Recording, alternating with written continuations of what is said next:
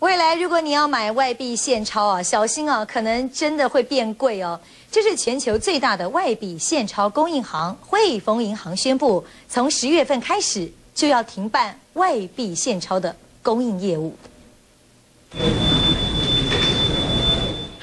表数字跳不停，想买外币现钞，眼睛盯死死，生怕买贵了。但十月十九号开始，汇丰银行停办全球外币现钞供应。换句话说，汇丰不玩了，民众买外币恐怕会变贵。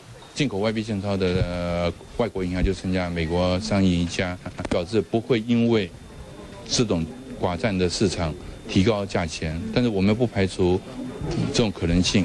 汇丰银行是目前台湾最大的外币现钞供应行，供应种类包括美元、欧元、港币等多达十九种。但因为近来国际洗钱防治组织要求买卖外币程序复杂严格，汇丰成本提高，决定退出外币供应市场。那我不换了，为什么？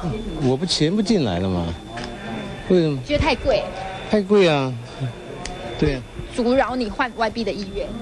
肯定的嘛。因为他说有管制嘛，民众反应激烈，就怕亏到，干脆不换外币。可见汇丰的大动作，在市场投下不小的震撼弹。